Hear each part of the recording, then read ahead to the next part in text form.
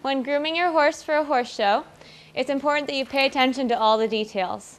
You want your horse to be shining, you can use some show sheen and make sure their coat is very shiny and clean. You want to make sure you brush out their mane, tail, and forelock and that you clip their muzzle, legs, underneath their jaw, bridle path, and ears. When grooming for a horse show, a great way to make sure their coats are shiny and clean is to spray a little bit of a show sheen or anything that says that it'll help make your horse's coat shiny. Just nice even spray on the area that you want. And you can either use a brush or a towel to then smooth it over. You want to make sure it's evenly applied.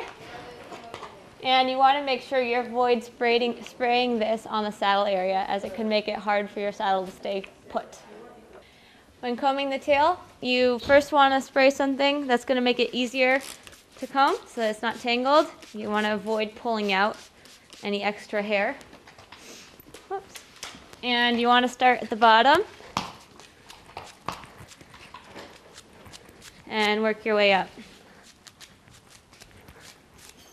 And I also sometimes like to just start with one strand and then add a strand as I go. And I find this is the best way to avoid losing any extra hair.